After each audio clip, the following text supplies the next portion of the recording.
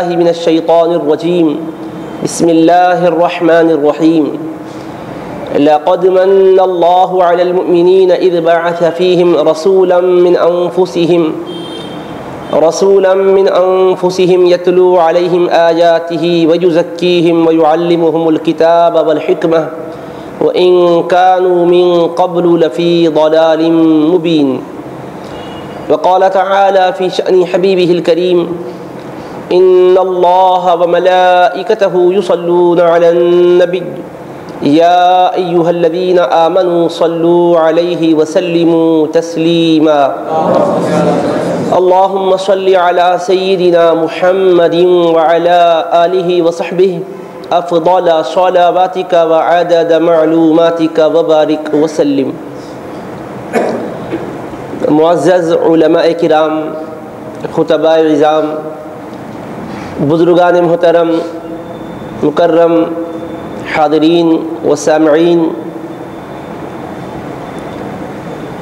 अल्लाह सुबहानहु व की बारगाह में हम शुक्र बजा लाते हैं कि उसने हमें चौदह सौ चौंतीस हिजरी के इस मुबारक साल माह रबीउल अव्वल में दाखिल होना नसीब फरमाया है। आज की शब माह रबीउल अव्वल की पहली शब है। बरकतों और रहमतों वाले मुबारक महीने की पहली रात है।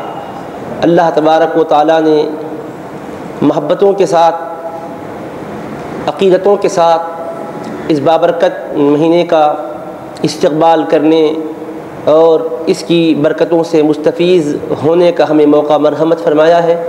अल्लाह तबारक व ताली का हम शुक्र बजा लाते हैं। और अल्लाह की बारगाह में दुआ करते हैं कि रसूल रहमत सल्लल्लाहु अलैहि वसहबिही वसल्लम के माह मीलाद पाक की बरकतों से खालिक कौनैन हमेशा हमेशा हमें और तमाम उम्मत मुस्लिमा को सरफराज फरमाता रहे और इस खुशियों वाले, बरकतों वाले महीने के तसदुक़ में जो परेशान हाल हैं, उनकी परेशानियों को दूर फरमा दे। जो बेरोज़गार हैं, उन्हें पाकिज़ा और हलाल रोज़ी अता फ़रमाए। जो बीमार है, उन्हें सेहत कामिला शिफा आदिला अता फ़रमाए। और जो कैद खानों में कैदी बनाए गए हैं, उन्हें उससे नजात और रिहाई अता फ़रमाए। अल्लाह तबारक व अपने महबूब पाक के माह मिलाद की खुशियाँ हम सबों को नसीब फरमाए और उनकी पाकिज़ा तालीमत पर चलने की सादत अता फ़रमाए। इसी के साथ आप सबको इस मुबारक महीने में दाखिल होना मुबारक हो। दुनिया और आखिरत की सादतें सबको नसीब हो। तो अजीज़ान मोहतरम, आपने अभी समात फरमाया कि आज का है क़ुरान मजीद में ज़िक्र आमद रसूल सल्लल्लाहु अलैहि वसल्लम आप कुरान मजीद की तिलावत फरमाएँगे, कुरान मजीद की आयात बैनात पर गौर करेंगे तो मुख्तलिफ़ मकाम पर मुतद आयात बैनात में, आमद हबीब पाक अलैहि वसहबिही वसल्लम का ज़िक्र जमील पाएँगे। ऐसा हसीन तस्करा पाएँगे कि जिससे दिलों को जिला नसीब होती है, रूहों को ताजगी नसीब होती है, ईमान को बालिदगी नसीब होती है अमल के लिए वो बात मुहर्रिक और उसके लिए सरगर्मी का सबब बनती है। अल्लाह के महबूब सल्लल्लाहु ताला अलैहि वसहबिही वसल्लम की चूँकि आमद मुबारक के तस्करे हुआ करते हैं, मजालिस मनद की जाती हैं, ज़िक्र पाक किया जाता है, नातिया अशार पढ़े जाते हैं, मिलाद खानी से मुतल कसायत खानी होती है तो ये जो कुछ हम तस्करा करते हैं, सुनते हैं, महब्बतों का, अकीदतों का नजराना बारगाह बीब कबरिया में, गुजरानते हैं तो इस सिलसिले में हमारे रब जुलजलाल ने अपने कलाम पाक में क्या तस्करा फरमाया है और किस शान से तस्करा फरमाया, इसको हम जान लें तो इसी से हमारे दिलों में बलबला पैदा होगा कि खालिक कौन बेनियाज मालिक, रब्बुल अपने हबीब पाक सलाम की आमद बाबरकत का हसीन पैराए में मुख्तलिफ़ आयात बैनात के ज़रिए से, मुख्तलिफ़ असालीब बयाँ के ज़रिए से तस्करा फरमाता है तो हम तो उम्मती है, हम तो उन्हीं के शफात के सहारे बख्शे जाने वाले हैं, हमारी एक एक सांस उनके फ़जल करम की मरहून मन्नत है तो हमें तो हमेशा ही उनका ज़िक्र मुबारक करना है, उनका तस्कर जमील करना है, उनकी सीरत तयबा से और उसकी पाकिज़ा नूरानी तालीमत से मुस्तफ़ होना है तारीकियों का ख़ात्मा करना है। अजीज़ान गिराम कदर, अल्लाह तबारक व ताली ने हबीब पाक सलाम की कायनात में जलबगरी की बातें मुख्तलिफ़ तरीक़ों से जहाँ बयान की है, उनमें से एक तो ये कि अपने तौर पर हबीब पाक सलाम के भेजे जाने का तस्करा फरमाया। दूसरा ये कि उनके तशरीफ़ लाने का तस्करा फरमाया। तीसरे ये कि अम्बिया के राम ने उनकी आमद के लिए दुआएँ मांगी थी, उसका तस्करा फरमाया। चौथे ये कि अम्बिया राम ने आपकी आमद की खुशखबरियाँ अपनी उम्मत को दिया करते थे, इसका तस्करा फरमाया। इन तरीक़ों से आप कुरान मजीद में ज़िक्र हबीब कबरिया सल्ला वसम पाएँगे, आमद हबीब पाक सलाम का ज़िक्र पाएँगे। हजूर की ज़ात सतुदा सिफ़ात का ज़िक्र पाक, और आपके अवसाफ़ जमीला का ज़िक्र पाक तो मुतद आयात में मुख्तलिफ़ आयात में मिलेगा, लेकिन आज जो हम गुफ्तु कर रहे हैं, आपकी तशरीफ़ आवरी का तस्कर मुबारक कहाँ है और किस तरह से हुआ है? ज़ाहिर है कि एक घंटे के इस लेक्चर में उन तमाम आयात बैनात का सरसरी भी तस्करा नहीं किया जा सकता है, लेकिन शेख़ुलस्लाम बानी जामिया रहमत ताली अपनी किताबों में ऐसे मौाक़े पर एक अरबी का मकोला लिखते हैं, माला युद्रकू कुल्लू ला युतरकू कुल्लू जिसका मुकम्मल तौर पर इदराक नहीं किया जा सकता है, उसको मुकम्मल तौर पर नज़रअंदाज भी नहीं किया जा सकता है, जितना हो सकता है सदत के हसूल के तौर पर ज़िक्र मुबारक कहेंगे।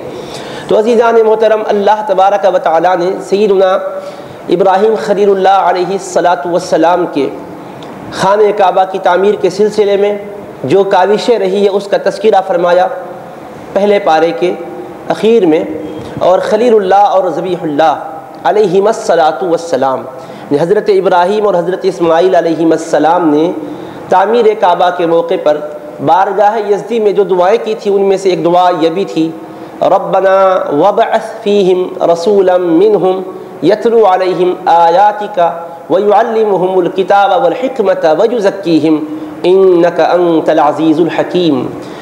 अर्ज़ किया था, ए परवरदिगार वबात फ़ीहिम रसूलम मिनहुम।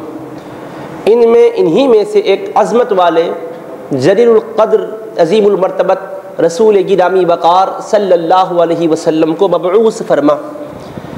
ए परवरदिगार, ए हमारे मालिक, हमने खान काबा की तामीर तेरे हुक्म पर मुकम्मल फरमा ली है। मौला, अब हमारा मारूज़ा ये है कि ताबीर, तामीर तो हमने की है। काबे की इमारत तो हमने खड़ा कर दी है तेरे अम्र पर। मगर मौला, हम ये चाहते हैं कि इसकी आज़मतें दुनिया को बताने वाली हस्ती आए। और इस मुक़दस सरजमीन की अज़मतों को चार चाँद लगाने वाले जलवगर हों तो मौला उनको जलवगर करने वाला तो ही है। हमारी दरख्वास्त है कि अपने अज़मत वाले बरगुजीदा रसूल को इन में भेज।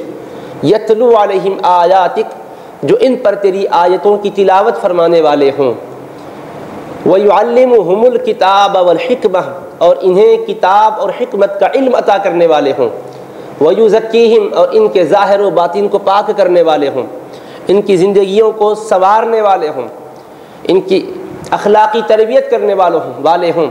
ऐसे अज़मत वाले अपने रसूल को भेज। इन अनतल अज़ीज़ुलहकीम बेशक तू गलबे वाला हमत वाला है। इस आयत मुबारक में इनकी दुआ का अल्लाह ने बयान किया। खलील्लाम ने दुआ की। इस्माईल सलाम ने दुआ की। और दुआएँ हमेशा अम्बिया के नाम अपने मौला की बारगाह में किया करते थे। लेकिन पूरे कुरान मजीद को आप पढ़िए, नबियों ने जो जो दुआएँ की है, वो सारी दुआएँ अल्लाह ने अपने कलाम पाक में बयान नहीं फरमाई हैं। हर पैगंबर की हर दुआ का ज़िक्र नहीं फरमाया है। वरना क्या एक दो दुआएँ ही नबियों ने की है? वो तो हमेशा अपने पाक परवरदिगार की बारगाह में दुआएँ करते हैं, अल्लाह को पुकारते हैं, खल्क खुदा की हिदायत की दुआएँ करते हैं, उनकी सरफराजी की दुआएँ करते हैं। लेकिन सब की सब दुआएँ नहीं बयान किया। और हज़रत इब्राहिम इसमाईल सलाम की भी सारी दुआएँ बयान नहीं फरमाया। ख़ास तौर पर जिन दुआओं को बयान किया है, उनमें से ये दुआ भी है कि उन्होंने सरवर कौनैन सलाम की इस कायनात में जलवगरी की दुआ मांगी है।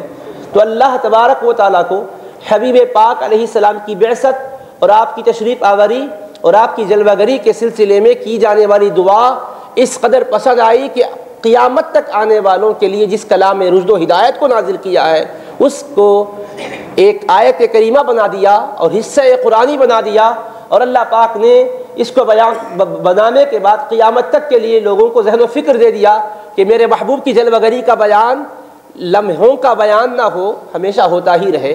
चंद मखसूस वक्तों के लिए ही ना हो, ये ज़िक्र चलता रहे, कुरान पढ़ा जाता रहे तो खलील्ला और जबील्ला की दुआओं को दोहराते रहे लोग। और ये समझ लें कि जो रसूल गिरामी वक़ार के तुम्हें उम्मती होने का शरफ मिला है खुशा नसीब है, सदतमंद है कि ये हबीब पाक इस्लाम की जलवगरी के लिए अम्बिया ने दुआएँ की है, अल्लाह से इल्तजाएँ की है।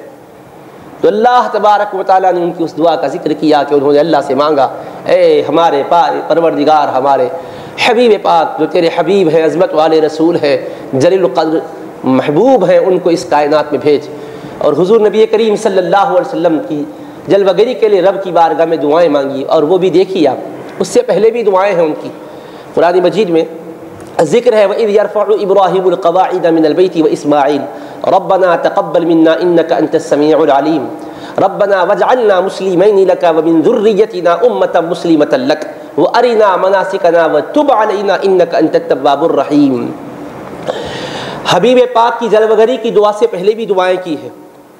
उसके बाद आखिर में ये दुआ मांगी है। तो जो कुछ मांग रहे थे खलील्लाम चाहते थे कि जो मांग रहा हूँ, रद्द ना हो, ऐसी दुआ मांगी जाए कि जो पहले मांगा हो, वो भी उस दुआ की वजह से कबूल हो जाए। तो हज़रत हबीब पाक की जलवागरी तो एक अटल हकीकत है। अम्बिया को अल्लाह ने पहले ही रोज़े अजल में बतला दिया है। मिसाक लिया था नबियों से और हबीब पाक की आमद का जलवागरी का तस्करा फरमा दिया था। और सबको यकीन है अल्लाह के हुक्म पर, ईमान है अल्लाह तबारक ताली के वादे पर कि आएँगे, तशरीफ़ लाएँगे। तो मांगा कि ए अल्लाह हबीब को भेज। अगर दुआ नबी करते तो अल्लाह का फैसला था और नबियों के सामने डिक्लेयर कर दिया गया था कि हबीब ख़त्म नबूत के ताजदार आएँगे, तशरीफ़ लाएँगे, सारी कायनात को सरफराज फरमाएँगे ज़ाहरी तौर पर भी। ये तो सबके इल्म में बात थी, मगर खलील्लाम ने दुआ मांग कर दो पहलुओं को वाजे किया।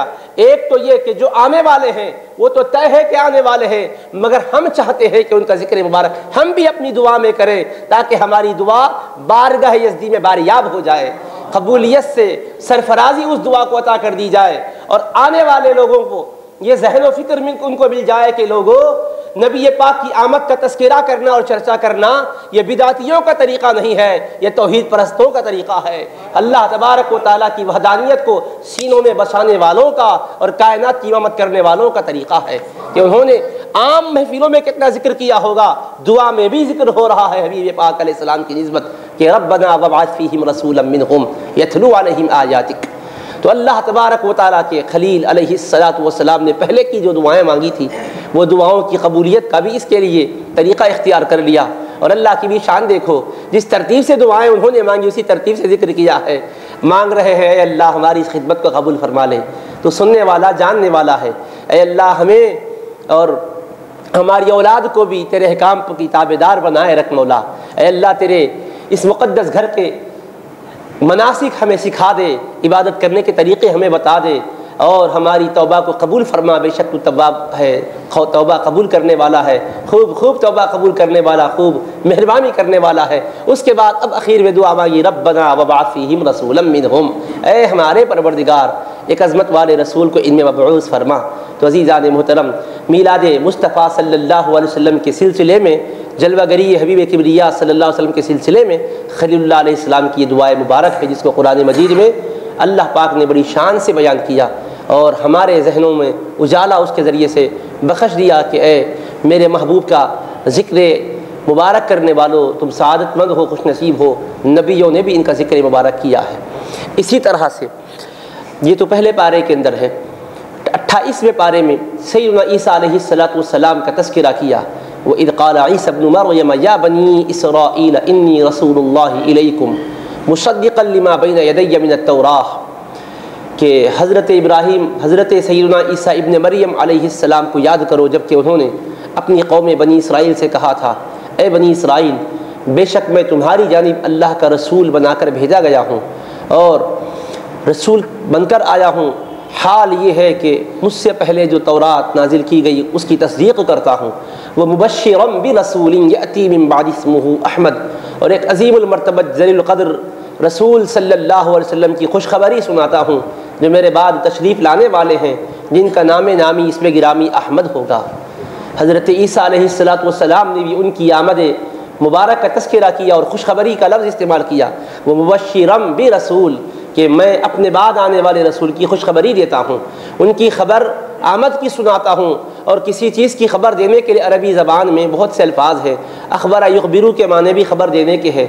आलाना युलिनों के माने भी आश्कार करने के हैं।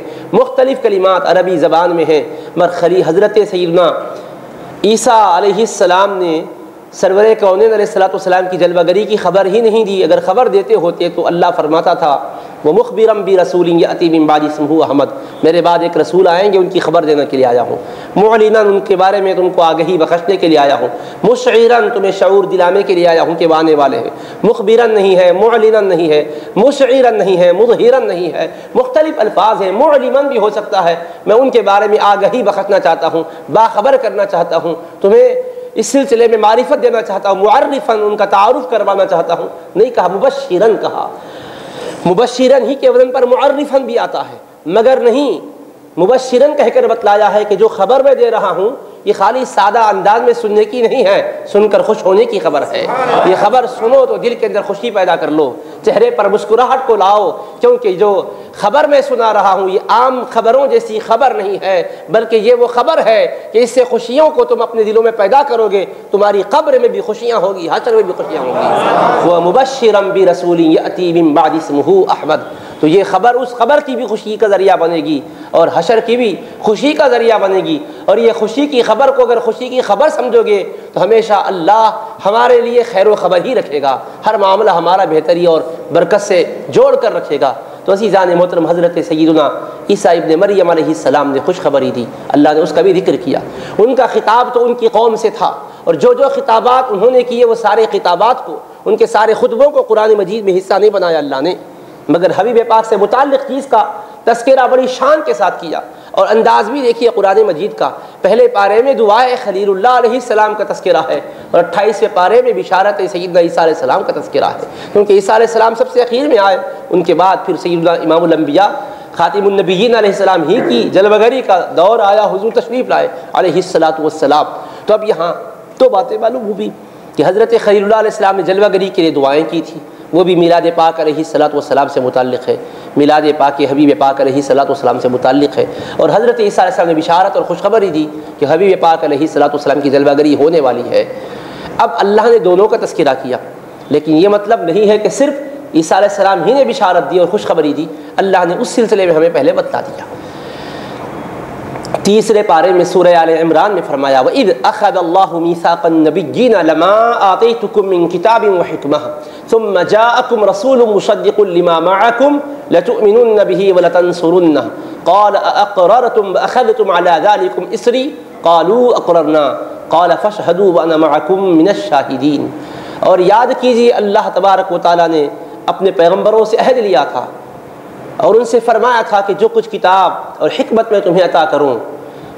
फिर मेरे अजमत वाले हबीब, तुम्हारे पैगाम की तस्दीक करने वाले जलवगर हों।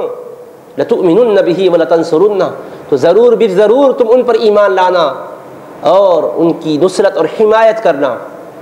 फिर फरमाया अकर तुम अखल तुम अलाकुम इसरी। ए गुरोह अम्बिया क्या तुमने इसका इकरार किया और मेरे भारी अहद को तुमने कबूल कर लिया? कालू, सबों ने कहा अकर ना खुदा बंदा, हमने इकरार किया। हमने तेरे अजीम तरीन अहद को कबूल कर लिया। अल्लाह ने फरमाया फश हदू तुम फिर गवाह हो जाओ।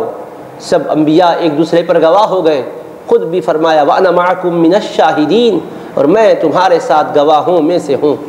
अल्लाह तबारक व ताली ने यहाँ नबियों से अहद लेकर पहले ही बता दिया है कि पैगम्बरों तुमको भेज रहा हूँ। किताब हमत देकर भेज रहा हूँ। और तुम दावत व तबलीग का काम करते रहना।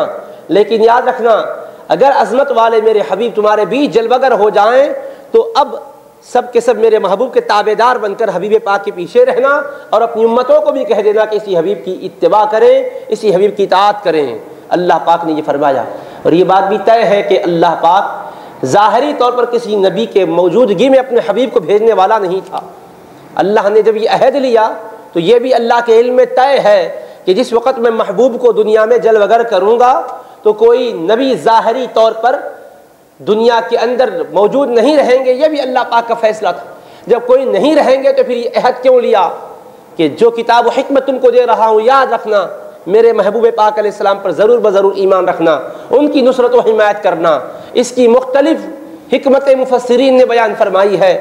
उन तमाम हमतों की तरफ़ या इसके तमाम असरार और रमूज की तरफ़ जाना नहीं है, क्योंकि इस आयत की तफसीर से मुतल हमें आज कोई तफसीली गुफ्तु करनी नहीं है, सिर्फ़ मुतल बात अपने उनवान से जो है वो अर्ज़ कर रहा हूँ कि अल्लाह तबारक वाली ने नबियों से फरमाया कि ईमान लाना और इकरार करना और तायद करना, हिमायत करना तो ये पैगाम जब अल्लाह पाक की तरफ़ से नबियों को मिला और ये हिदायत मिली तो सबों ने क्या कहा? अल्लाह, हम इकरार करते हैं, तब अल्लाह ने सबको नबूत और रिसालत से सरफराज किया। इसकी तफसीर इमाम उस्तुल्लानी शारह बुखारी मवाहिब लदुनिया में बयान करते हुए कहते हैं कि गोया खुलासा खुदा बंद खुदूस के फरमान का ये था, इन आमन तुम भी जाल तुकुम अम्बिया अगर मेरे महबूब पर ईमान लाओगे तो मैं तुम सबको नबी बनाऊँगा। सबों ने ईमान का और तस्दीक का, अल्लाह तबारक वाली की बारगाह में इकरार किया, जो यकीन दिल में बसा लिया था, उसका इजहार किया, इकरार किया। ईमान और तस्दीक हुई। इकरार और इजहार हुआ, तब अल्लाह ने नबूत और रिसाला से उन्हें सरफराज किया, फिर एक के बाद दीगर नबियों को भेजता रहा। क्यों ऐसा किया? इसलिए ऐसा किया कि हर दौर में हर पैगंबर अल्लाह की तरफ़ लोगों को बुलाता रहे साथ साथ आमद मुस्तफ़ा का डंका बजाता रहे। अपनी कौम से ये कहता रहे कि, लोगों, मैं तो आया हूँ, सुन लो, हमारी इतात अलल इतलाक नहीं है मशरूत है। अब हमारी इतात करना, मगर एक आएँगे, वो आ जाएँगे तो हम भी उनके पीछे होंगे, तुम भी उन्हीं के पीछे होना। अल्लाह तबारक वाली के हर पैगंबर ने हर दौर में रसूल पाक की जलवगरी का तस्करा किया है। अपनी कौमों से ज़रूर फरमाया है, क्योंकि रब करीम ने फरमाया था, अल्लाह तबारक ताला तो किसी के ज़माने में न भेजा है, न ज़ाहरी ज़माने में भेजना था। ये, लेकिन अल्लाह ये चाहता था कि ज़ाहरी तौर पर तो मेरे महबूब को किसी नबी के दौर में नहीं भेजूँगा, मगर हर दौर में मेरे मुस्तफ़ा का ज़िक्र होता रहे, हर दौर में मेरे मुस्तफ़ा का तस्करा होता रहे, हर जबा हर मका पर मेरे हबीब की आमद की बातें होती रहे, और सारी कायनात बशमूल उमम अम्बिया मुंतजर रहे कि एक आने वाले आएँगे। जब वो आएँगे तो उन्हीं का कलिमा पढ़ना होगा, उन्हीं का चर्चा करना होगा, उन्हीं की उम्मती हमें बनना होगा। तो अल्लाह तबारक व ताली ने यह बतलाया। तो अब इससे मालूम हुआ कि सिर्फ़ ईसा सलाम ही खुशखबरी नहीं दिए, बल्कि सारे पैगंबर भी खुशखबरी देते रहे। क्यों? अल्लाह तबारक ताली की बारगाह में अहद हो चुका, इकरार हो चुका कौलो करार लिया जा चुका है, अहदो पैमान हो चुका है। अब हुक्म जो था, उसकी तामील यूँ करते रहे कि हर दौर में फरमाते रहे हाँ हाँ हम है, आने वाले आएँगे। तो ज़िक्र मिलाद रसूल सलाम से कोई ज़माना खाली नहीं रहा। हर ज़माने में ज़िक्र होता रहा, हर ज़माने में होता रहा। अम्बिया सबकीन फरमाते थे, वो आने वाले हैं, आएँगे। अल्लाह ने फरमाया, मेरे महबूब को मैं भेजने वाला हूँ। भेजने वाला हूँ, फरमाया, वो कहते थे, आने वाले हैं। और जब आ चुके तो अल्लाह ने फरमाया, वो हबीब तशरीफ़ ला चुके हैं। अब आमद का ज़िक्र किया तो अब हमारे लिए हुक्म है कि जो आ चुके हैं, उनकी आमद की शान बयान की जाए। उनकी रिपतों का तस्करा किया जाए। तो गोया हम में उनमें कदर मुश्तरक ज़िक्र मिलाद है। वो कहते थे, आने वाले हैं। हम कहते थे, जिनके आने वाले हैं, कहकर अम्बिया डंके बजा रहे थे, वो आ चुके हैं। वो तशरीफ़ ला चुके हैं। सारे जहानों को मालामाल करने के लिए आ चुके हैं। मुबार सल्ला का रहमतमीन हमने हबीब आपको सारे जहानों के लिए मुजस्म रहमत बनाकर भेजा है। अल्लाह तबारक उतार ने सारे जहानों के लिए भेजा हबीब पाक। ये ज़िक्र मुबारक होता रहा। तो आप देखिए, अल्लाह तबारक वाली ने इरशाद फरमाया, वो लोग मुतालबा करने लगे कि ऐसा क्यों नहीं होता कि अल्लाह रास्त हमसे कलाम कर ले। वक़ाल अल्लदीना वो कहने वाले कहने लगे, लौला आया, अल्लाह हमसे क्यों कलाम नहीं करता और कोई निशानी क्यों नहीं भेजता? तो अल्लाह तबारक व ताली ने उनसे फरमाया कि ये हसद की बोली बोल रहे हो।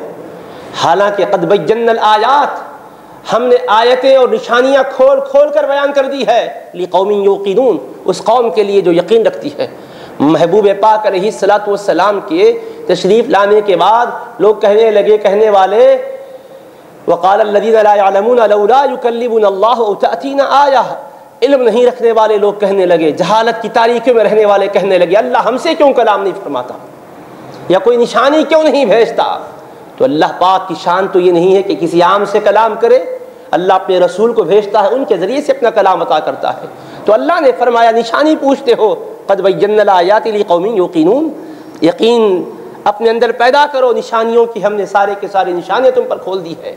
क्या निशानियाँ खोली? आगे फरमाया इन ना का बिलहकी बशीर व नवीरा ये क्या बात है कि तुम निशानी मांगते हो?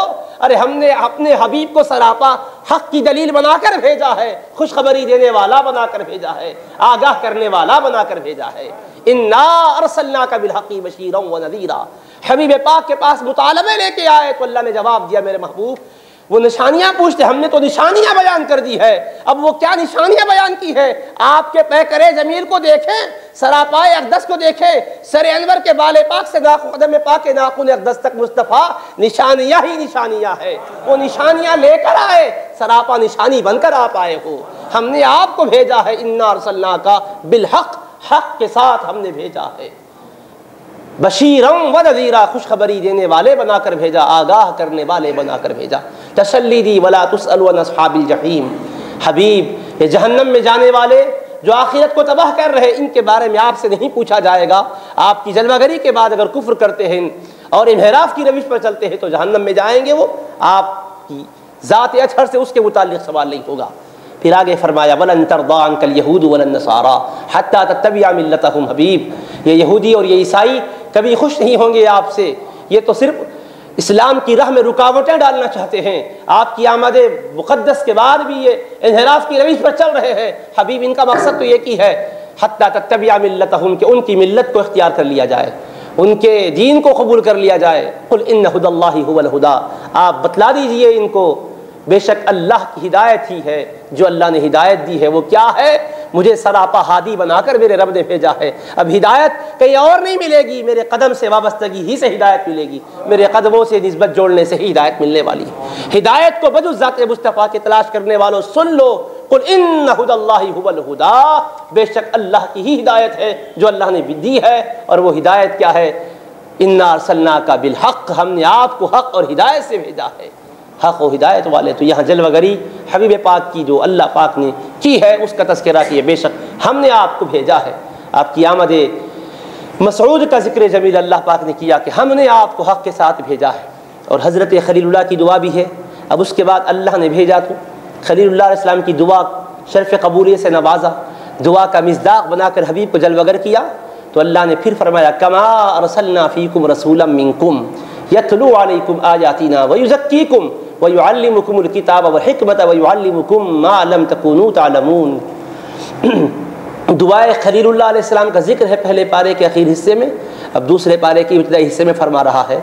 उसी दुआ को हमने कबूल किया और हमने फजल किया, करम किया, इनायत और मेहरबानी फरमाई, जैसा कि हमने एक अजमत वाले रसूल को तुम में मबूस फरमाया है। अपने हबीब को भेज कर हमने एहसान किया है, ऐसी अजमत वाली हस्ती को भेजा खलील्लाम ने तीन सिफात बयान किए थे। पहली सिफत बयान की थी कि ऐसे अजमत वाले रसूल को भेज जो तेरी आयतों को पढ़कर सुनाने वाले हों। नंबर दो, किताब हमत का इल्म देने वाले हों। नंबर तीन, उनके दिल को पाक करने वाले हों, दिलों को पाक करने वाले। तरतीब में तालीम का ज़िक्र पहले किया, दिलों के पाक करने का ज़िक्र बाद में किया।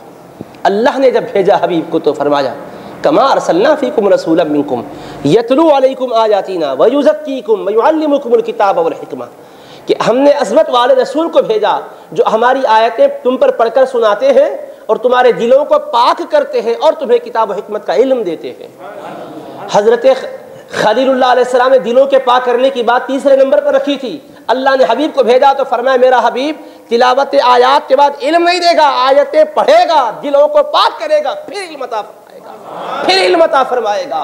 मेरे हबीब पहले तिलावत करेंगे आयतों की, उसके बाद दिलों की गंदगियों को निकालेंगे। जब दिल से गंदगियाँ निकलेंगी तो इल्म का उजाला आएगा।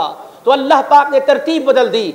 हज़रत खलील्लाह ने मांगा था ए लाजमत वाले रसूल को भेज, जो आयतें पढ़ते हों, इल्म देते हों और दीवा, उनके दिलों को साफ़ करते हों। तो रब ने फरमाया, खलील, दुआ तुम्हारी मंजूर है, मगर हम तरतीब को अपने से हम बदा कर देते हैं। हमारे हबीब का काम तिलावत आयात है, दिलों को पाक साफ़ करना है, किताब हमत का इल्म देना है। वजह क्या है? क्यों ऐसी तरतीब को अल्लाह ने बदला? हमत क्या है उसकी? दो हमतें हैं। बज़ाहिर समझ में आने वाली अल्लाह तबारक वाली का कलाम खुद हमतों से भरपूर है। यासीन वल कुरान हकीम। अल्लाह ने फरमाया सारी कायनात के सरदार, कुरान की कसम है जो हमतों वाला है तो कुरान हकीम है हमतों वाला है। अल्लाह भी हकीम, उसका कलाम भी हकीम है। तो अल्लाह पाक का हमतों वाला कलाम है। और अल्लाह तबारक व ताली अपने हबीब पाक इस्लाम को मौलम किताब ही नहीं बनाया मौलम किताब व मौलम हमत बनाया है हमतों को सिखाने वाला बनाया है। तो अल्लाह ने क्यों ऐसा फरमाया? एक एक बात तो उसमें यह है कि इल्म, अगर दिल की पाकिज़ी के बग़ैर अगर आ जाए तो इल्म नफ़ा बख्श नहीं होता। दिल के पाक करने के बाद आए तो नफ़ा बख्श होता है। तो हबीब पाक जो इल्म ला रहे हैं, ये ज़ाहरी जिसम को संवारने का इल्म नहीं है, दिल की दुनिया को संवारने का इल्म है। क्योंकि दिल की दुनिया में इनकलाब लाने का इल्म है। अल्लाह ने हम पर वाजे करने के लिए पहले तस्किए का ज़िक्र किया। दूसरी हमत यह है इल्म मुस्तफ़ा की बात आती है मौलम किताब हमत की बात आती है तो अच्छे अच्छे यहाँ लफ्जिशें खा जाते हैं, मुख्तलिफ़ अंदाज से अपने जहन व फ़िक्र की बातें निकालते हैं और मुख्तलिफ़ लोग खाना फरसाई करते हैं, कियास आराई करते हैं और क्या कुछ नहीं कहते, हमें कौन क्या कहा है उसकी तरफ़ जाना नहीं है। आप समझते हैं कि इल्म मुस्तफ़ा को मुख्तलिफ़ अंदाज से लोग मजरू करने की कोशिश करते हैं, ये नहीं जानते, वो नहीं जानते। अल्लाह पाक ने तरतीब यूँ बनाई है। मेरा हबीब तिलावत करेगा आयतों की और दिलों को पाक साफ़ करेगा और किताब हमत का इल्म देगा। मेरे हबीब का इल्म जो है, वो इल्म सिर्फ़ शहादत का ही नहीं है। दिल की दुनिया की गंदगियों को निकाल कर इल्म देगा तो हर एक आदमी के दिल में क्या गंदगी है? खुद साहेब दिल को नहीं मालूम, मगर मेरे हबीब की निगाह दिलों की धड़कनों को भी देखती है, उनकी गंदगियों को भी देखती है। निकालता है गंदगी को, पाक करता है दिलों को, फिर इल्म से माला माल फरमाता है। तो ये मत समझो कि हबीब का इल्म सिर्फ़ जाहरी उमूर से मुतल है, मख्फी और पिन्हा चीज़ों से मुतल नहीं है। आलम शहादत ही का इल्म है, नहीं। वो हबीब आलम शहादत को भी जानते हैं और हमारी अता से आलम गैब को भी जानते हैं। मख्फी उमूर को भी जानते हैं, मगीबात को भी जानते हैं। मेरे महबूब पाक सल्लल्लाहु अलैहि वसल्लम दिलों को पाक करते हैं और आज तक भी दुनिया के अंदर मुख्तलिफ़ आलात ईजाद हुए और क़्यामत तक न जाने कौन कौन से आलात ईजाद होंगे। मगर कोई आला ऐसा ईजाद हुआ है न क़्यामत तक होगा जो दिलों की धड़कनों के अंदर पिन्हा गंदगी को बताता हो। छुपे हुए उसके अंदर की हिरासतों को बताता हो। दिल की धड़कनों का इल्म ज़रूर होगा, आलों के ज़रिए से। मगर किसके आले में कुफ्र है, किसके दिल में कुफ्र है, किसके दिल में निफाक है, कोई आला इसको बता नहीं सकता। और दिल की गंदगी क्या होती है?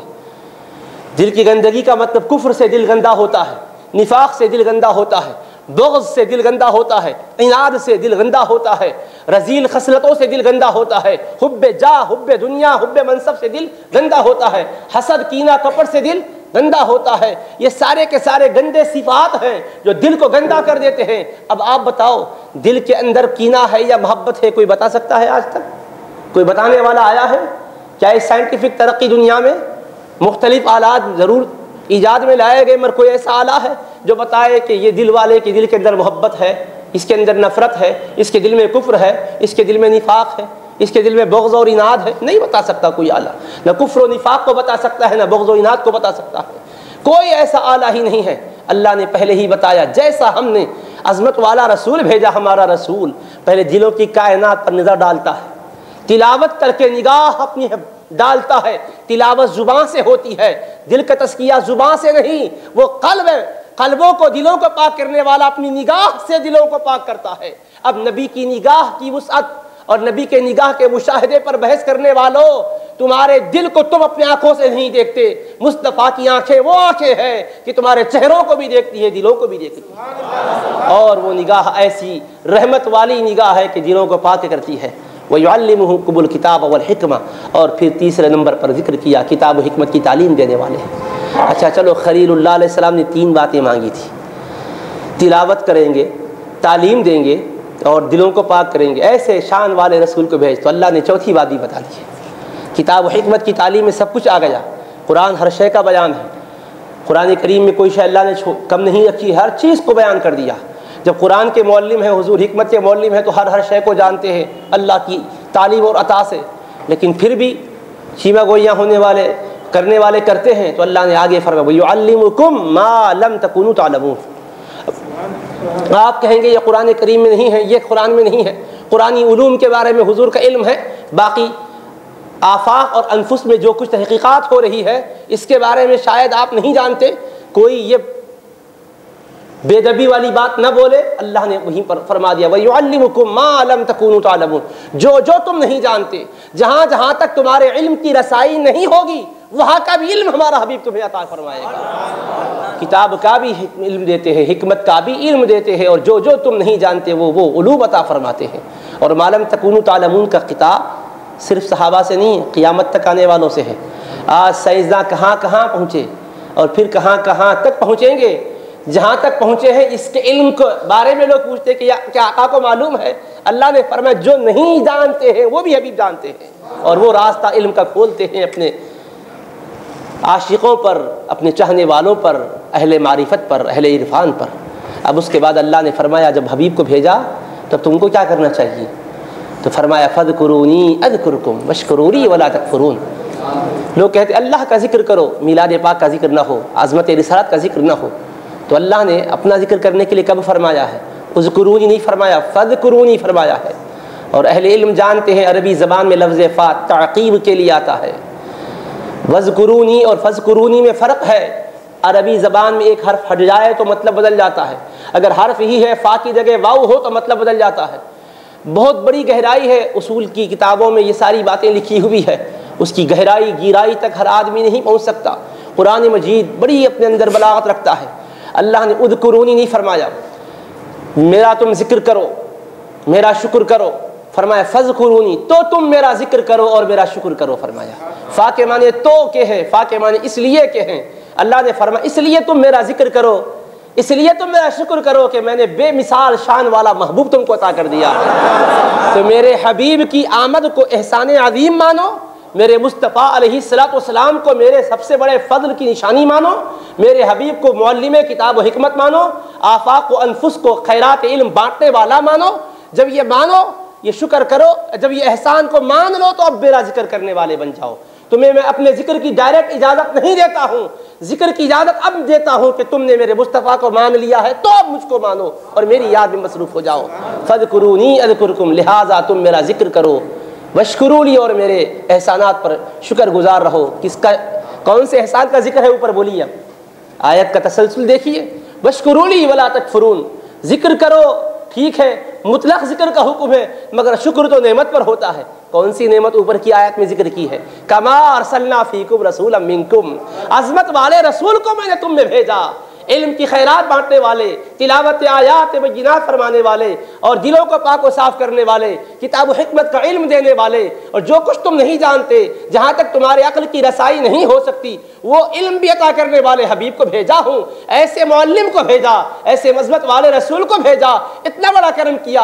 अब मैं कहता हूँ कि हाँ आओ मुझे पुकारो, मेरा ज़िक्र करो, इसलिए कि मैंने अपने हबीब को अपने पास रखकर परवान चढ़ाया और अपने इल्म की खैरात से, अपने हबीब के ज़ाहिर बातिन को मैंने मुनवर कर दिया, अपने जमालो कमाल का मुस्तफ़ा को पैकर जमील बनाया, ज़ात इलाहिया के अनवार के भी फ्यूज़ मिले, सिफात खुदाबंदी के अनवार के भी फ्यूज़ मिले, असमात इलाहिया के अनवार के फ्यूज़ मिले, मजहर ज़ातो सिफात बनाया और फरमाया, जिसको मैंने मजहर बनाया, ऐसा बेमिसाल महबूब मैंने अपने पास नहीं रखा, तुम में भेजा हूँ, अब मेरा ज़िक्र करो कि मैं कितना मेहरबान हूँ, मुझे याद करो कि मैं कितना कर्म करने वाला हूँ, अब मुझको याद करो, इसलिए कि मैंने मुस्तफ़ा को तुमने भेजा हूँ। अरे ये तोहफे की कदर करो और शुक्र मेरा करो। ये कितनी बड़ी नेमत मैंने तुमने भेजी है।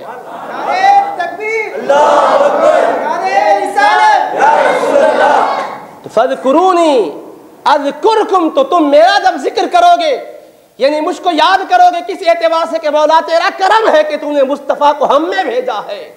शुक्र करो कि अल्लाह, इतना बड़ा एहसान तूने किया है तो अल्लाह परमाता अज कुरकुम मैं तुमको याद रखूँगा। मैं तो वैसे भूलता नहीं हूँ। याद मेरी किसी शर्त के साथ नहीं है, मगर अब मैं तुम पर इनायतों की बरसात करूँगा।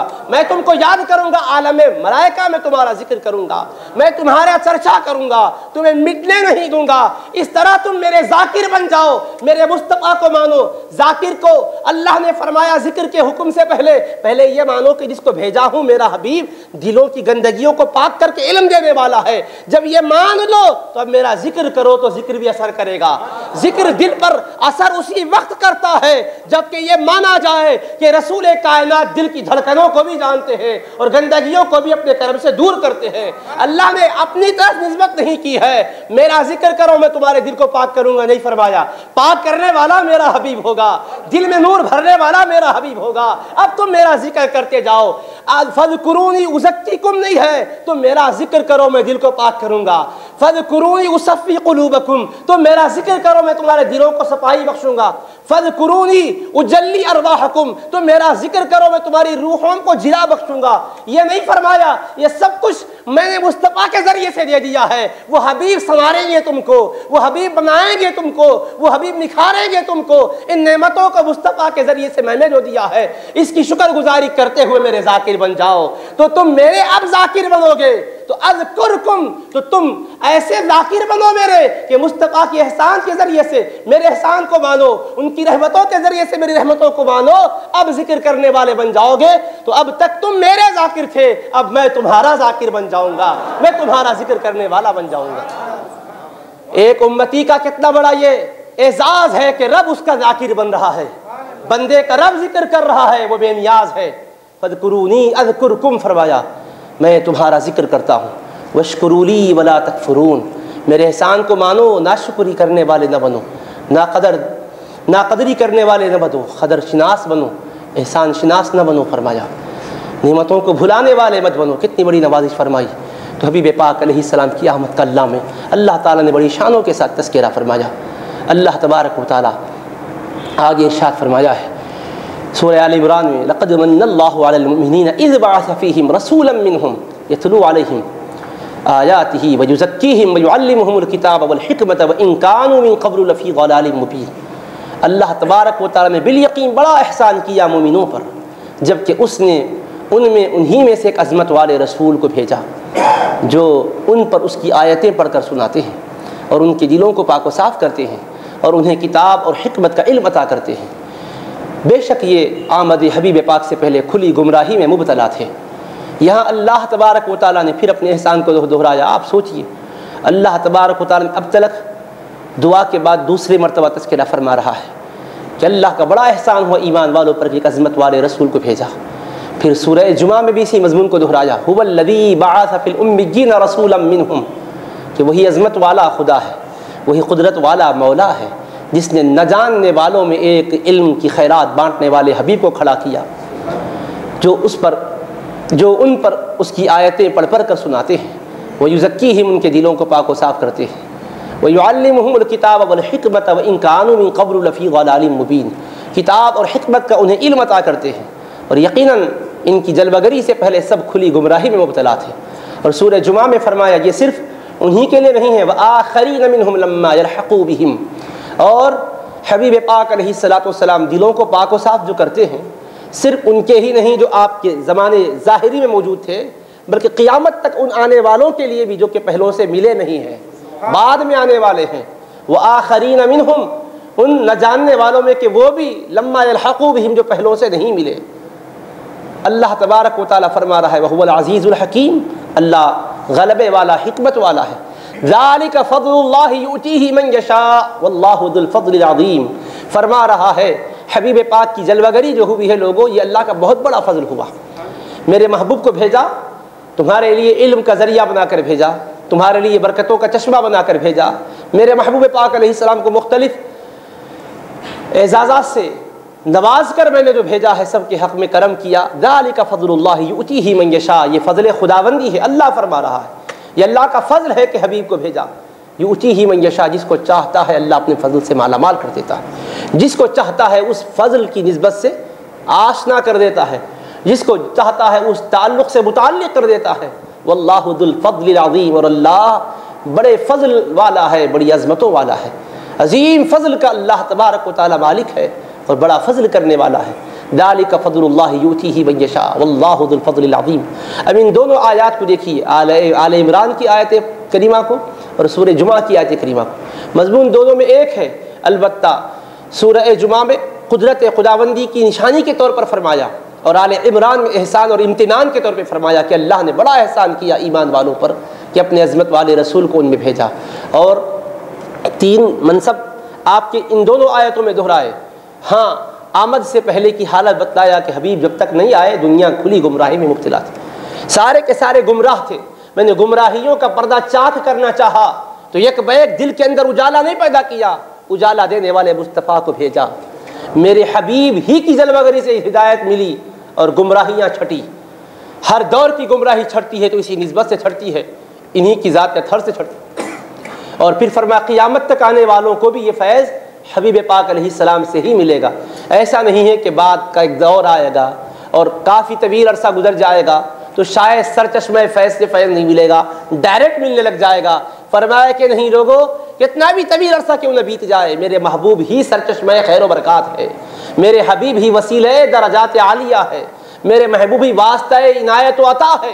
इनके बगैर कोई तुम्हारा काम बनने वाला नहीं है। यही हबीब है कि सबको अता करने वाले हैं। आप कहेंगे कि हमें तो ज़रा ज़ाहरी तौर पर किराम आयतें पढ़कर सुनाते हैं। वो हमारे लिए अखलाकी बातें बताते हैं। हमारे लिए किताब हमत का दर्स देते हैं। हम देखते हैं कि मुर्शिदान गिरामी दिलों का तस्किया करते हैं। अल्लाह का कलाम कह कर रहा है, कह रहा है कि हुजूर ही करते हैं, बज़ाहिर नज़र नहीं आ रहे हैं। तो अल्लाह तबारक वाली फरमा रहा है कि मेरे बंदो, करते मेरे हबीब ही हैं। बरह रास्त उनको करते हैं, क़ियामत तक आने वालों को बिलवास्ता करते हैं। ये जिनसे तुमको इल्म की खैरात मिल रही है, उनकी ज़बान में इतनी ताकत और तोानाई कहाँ है कि इल्म की बातें बता सके? उनके दिलों में इतनी हिम्मत और तोानाई कहाँ है कि तुम्हारे दिल पर तवज्जो डाल सके?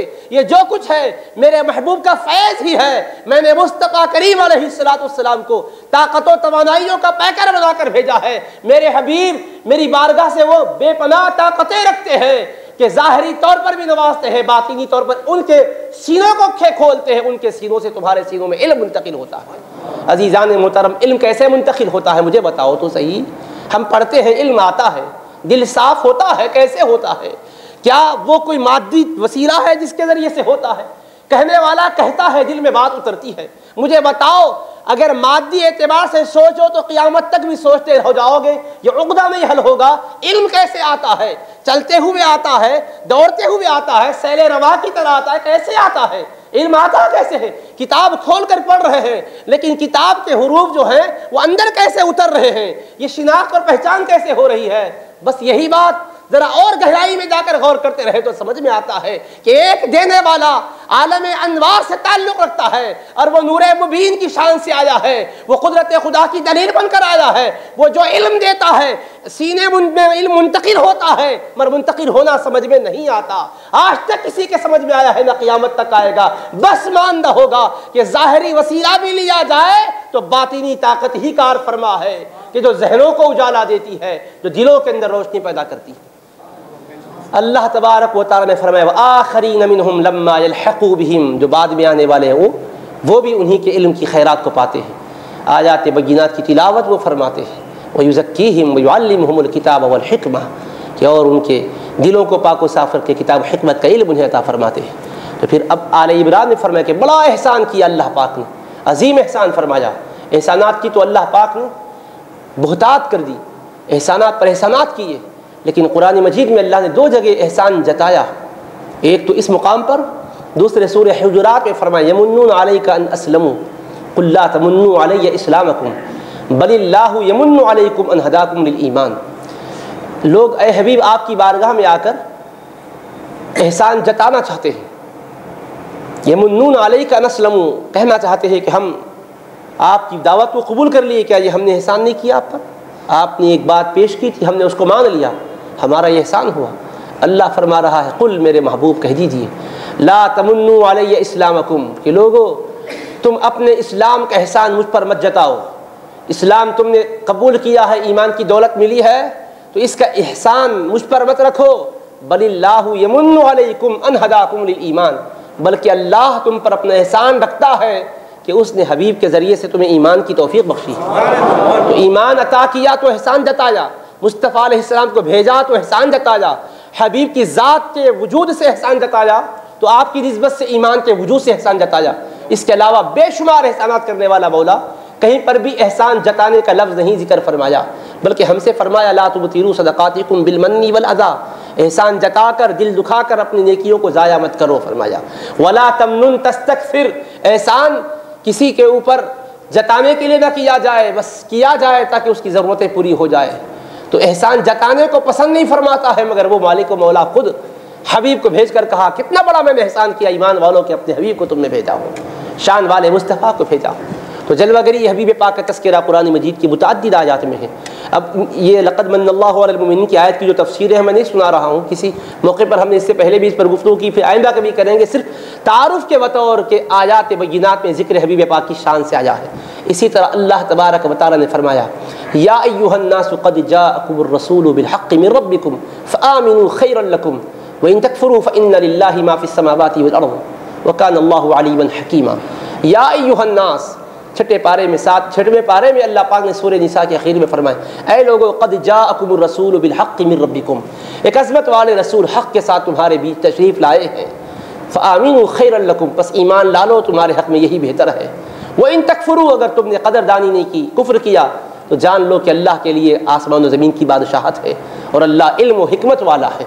तो यहाँ भी जलवागरी हबीब पाक का तस्करा है। फिर उसके बाद के रुको में फरमाया, या नूरम मुबीना। ए लोगो, तुम्हारे पास तुम्हारे रब की एक दलील आ चुकी है, रोशन दलील आ चुकी है, और हमने तुम्हारी तरफ़ एक रोशनी देने वाले नूर को उतारा है। नूरब मुबीना से मुराद कुरान मजीद है बुरहान रब्बिकुम से मुराद ज़ात रसूल पाक सलाम है। सरकार की तशरीफ़ आवरी का ज़िक्र किया। हबीब आए तो एक बार, मगर कुरान बार बार आमद का ज़िक्र कर रहा है। लोग कहते हैं कि हर साल मिलादुलनबी के महीने में मिलाद का तस्करा करते हो, आए तो एक बार है बार बार क्यों करते हो? हम कहते हैं कि बार बार रब ने किया है, इसलिए बार बार हम भी करते हैं। अल्लाह ने एक बार ज़िक्र करके इतफा किया होता तो एक ही बार हम भी कर लेते, लेकिन कुरान को देखो बार बार कर रहा है। कद जाकुम कद जाकुम बुरहानुम बिरब्बिकुम अनजल्लाकुम नूरम मुबीना। एक ही सूरा है, एक ही रुकू के फात बस इस रुकू में की आखिर पर, फिर दूसरे रुकू के शुरू में कर दिया।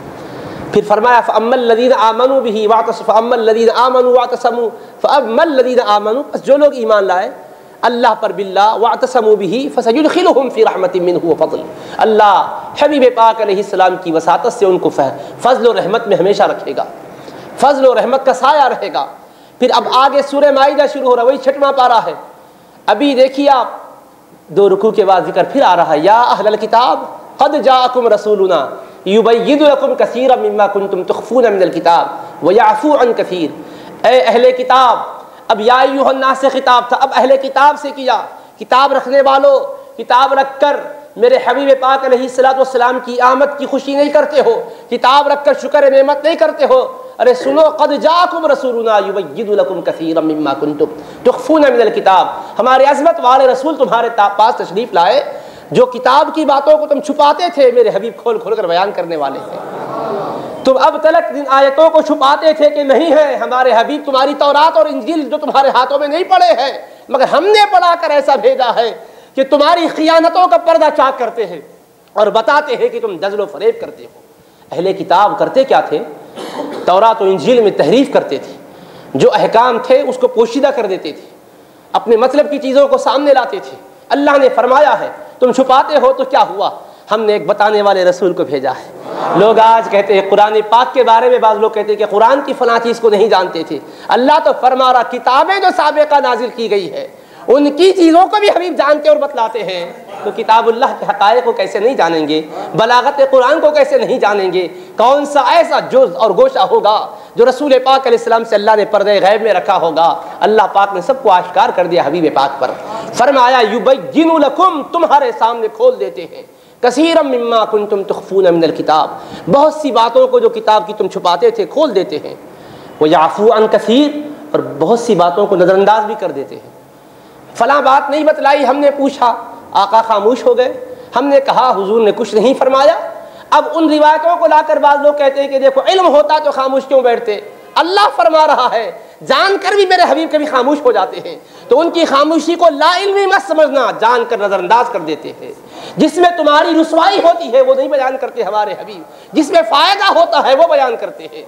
जिसमें कोई मसलहत होती है, वो बयान करते हैं। वरना तुम्हें शर्मसार करना होता तो हर से खोल कर बयान करते थे। हत्या कि तुमने रात में क्या किया मुस्तफ़ा? बेखबर नहीं है। तुमने क्या कुछ किया? सब कुछ खबर रखते हैं। मर हबीब, सरापा, आफू और दरगुजर के मिजाज अपने अंदर रखते हैं, इसलिए ना माफ़ कर देते हैं, नज़रअंदाज कर देते हैं। तो माफ़ी पर शुक्रगुजार रहने के बजाय कहते हैं, जानते थे तो क्यों नहीं बयान करे? कहते हो, जालिमो, मेरे हबीब का न बयान करना, ये नज़रअंदाज करना है। अल्लाह ने उस पर भी वाजे कर दिया। देखिए, फिर मिलाद हबीब का ज़िक्र है। अच्छा आयत अभी ख़त्म नहीं हुई चल रही है। वजाफ़ू अन कसीर, कद नूर व किताब मुबीन। फिर उसी आयत में अल्लाह ने फिर आमद का ज़िक्र किया। यकीन अल्लाह के पास से एक अजीम नूर आया और रोशन किताब आई। रसूलुना भी कहकर आमद का ज़िक्र किया और एक रोशन नूर आया और चमकती किताब आई कहकर ज़िक्र फरमाया। फिर आगे फरमाए जो आए हैं यह हदी बिल्लामतबा रिजवाना सबूलसलामी व युखरजुमिनमात नूरी ही व यहदी मुस्तकीम। कि अल्लाह अपने हबीब के ज़रिए से और उस रोशन किताब के ज़रिए से उन लोगों को हिदायत देता है सलामती की राहों की जो उसकी रज़ा के तालिब होते हैं। अल्लाह की रज़ा के तालिब बनकर अखलास दिल के दिलों के अंदर होता है वह तालिब रज़ाए खुदाबंदी होते हैं। अल्लाह हबीब के ज़रिए से उनको रास्ता दिखाता है। रज़ाए खुदा के रास्ते पर चलाता अल्लाह यूँ ही नहीं है, फरमाए हबीब से जोड़ कर रास्तों पर चलाता है। जन्नत की तरफ़ जाने वाले रास्तों पर डालता उसी को है जो मुस्तफ़ा के नूर से जुड़ जाता है। अल्लाह ने पहले नूर का ज़िक्र किया आमद का ज़िक्र किया जलबगरी हबीब की हो चुकी है। अब इनके ज़रिए से अल्लाह ये हदीब हिल्ला है भी है इनके ज़रिए से हिदायत देता है अल्लाह। मन तबा रिजवान हो उसको जो कि रिज़ाए खुदाबंदी का तबल तल, तलबगार है ताबेदार है किसकी हिदायत देता है? सबूल सलाम सलामती के रास्तों की। अमन सलामती का मैसेज है इनका। इनकी दावत सलामती की दावत है। इनका दीन सलामती का दीन दीन है। दुनिया में अमन सलामती इन्हीं के तरीक़े को अपनाने से कायम होती है। ये मतलब है उसका। और अस्सलाम अल्लाह के नामों में एक नाम भी है। अब अल्लाह फरमा रहा है, मेरे रास्तों पर चलने वालों, मेरे रास्ते पर मैं तुमको यूँ ही नहीं डालता हूँ। हबीब के होते हो तो मेरे रास्ते पर डालता हूँ। हबीब की बारगाह में जाओ तो खुदा की बारगाह में आने वाला रास्ता मुस्तफ़ा से कतराने से नहीं मिलेगा, हबीब के हो जाने से मिलेगा। उन पर निछावर करो अपनी जिंदगियों को। कुर्बान जाओ उन पर, जुड़ जाओ उनकी ज़ात से। जब हबीब की ज़ात से जुड़ोगे तो अल्लाह उनके ज़रिए से अपनी तरफ़ आने वाले रास्तों पर डालेगा। यह हदीब नूर। हबीब से जुड़ गए तो अल्लाह अंधेरियों से निकाल कर उजाले में लाएगा। नूरी भी नहीं वहदीम मुस्तकीम और हमेशा सिरात मुस्तकीम पर कायम कायम रखेगा अगर इनसे जुड़ गए तो फिर सिरात मुस्तकीम पर कायम रहेंगे हिदायत छीनी नहीं जाएगी वरना हिदायत छीन ली जाएगी अल्लाह ने फरमाया अब देखिए आप एक ही रुकू के अंदर एक ही आयत में कितने मरतबा ज़िक्र हुआ आमद रसूल का दो मरतबा फिर इसी इसी में है आगे अल्लाह फरमाता या अहल किताब कद जाकुम रसूलना युबय्यिनुकुम अला फतरतिन मिन रसूल अन तक़ूलू मा जाअना मिन बशीरिन व नदीर फ़क़द जाकुम बशीरुम व नदीर फिर फरमा रहा अहले किताब भूल ना जाना एक अजमत वाले रसूल तुम्हारे पास आ चुके हैं एक अम्बिया की आमद का सिलसिला मौकूफ़ हो चुका था हमने भेजा हबीब को तुम ये ना कहना कि कोई खुशखबरी देने वाले नहीं आए डराने वाले नहीं आए फ़कद जाकुम बशीरुम व नदीर हाँ आए तुम्हारे पास खुशखबरी देने वाले डराने वाले अल्लाह ने फिर तीन मरतबा ज़िक्र किया तो एक ही रुकू में पाँच मरतबा आमद रसूल का तस्करा फरमाया फिर अब ये कौन सा पारा था? सातवा पारा। अब आगे जाइए। हर जगह हर जगह अल्लाह तबारक वाली छठवें पारे में है ये। अल्लाह तबारक वाली ज़िक्र मुबारक कर रहा है। ये सूर्य माईदा है, छठे पारे के अंदर आप देखिए। छठे पारे के शुरू में सूर्य निसा के आखिर में भी आमद का दो मरतबा तस्करा है। फिर उसी सूर्य माईदा के अंदर, इसी पारे के अंदर छठवें, फिर तीन मरतबा अल्लाह ने ज़िक्र किया। चार मरतबा, बल्कि पाँच मरतबा ज़िक्र किया।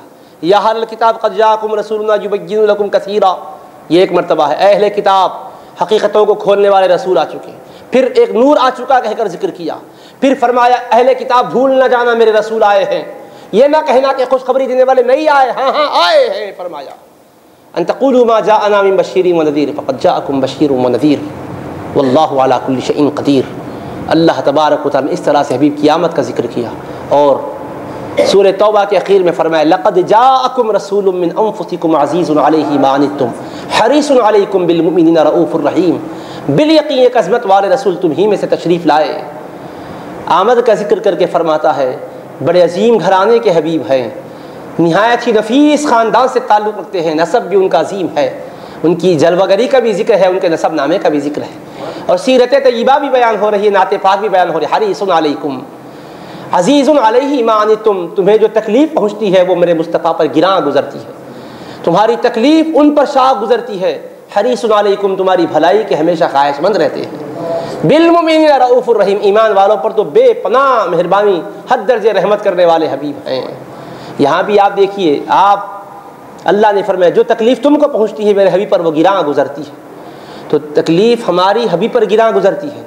गौर कीजिएगा तकलीफ़ उम्मती को पहुँचती है तो हबीब बेचैन होते हैं। तो कैसे पता चलता है कि हमें तकलीफ़ होती है? अब आज हम किस तकलीफ़ में हैं? अल्लाह फरमा रहा, कुरान तो अटल हकीकत है, उस पर हमारा ईमान है। फरमा रहा, तकलीफ़ तुम्हें होती है तो हबीब बेचैन होते हैं। तुम्हारा तकलीफ़ में पढ़ना उन पर गिरा गुजरता है। तो अल्लाह ने बताया, उम्मतियों, तुम्हारे हर हाल पर वो नज़र भी रखते हैं, तुम्हारी हमेशा खबर भी रखते हैं। तकलीफ़ तुमको पहुँचती है तो तकलीफ़ होती है का मतलब यह है, जिस किसी उम्मत को तकलीफ़ हुई हबीब का जानना ज़रूरी है। अगर नहीं जानेंगे तो बेचैन कैसे होंगे? अल्लाह ने फरमा दिया, क़यामत तक आने वाले लोगों, सुन लो, हबीब एक बार कायनात में आए बार बार ज़िक्र मैं इसलिए कर रहा हूँ कि मेरे मुस्तफ़ा के एहसान तुम पर एक बार नहीं बार बार एहसान होते रहते हैं।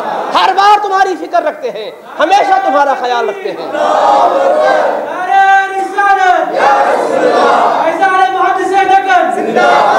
तो अज़ीज़ तुम तुम्हारा तकलीफ़ में पड़ना हमारे हबीब पर गिरा गुजरता है।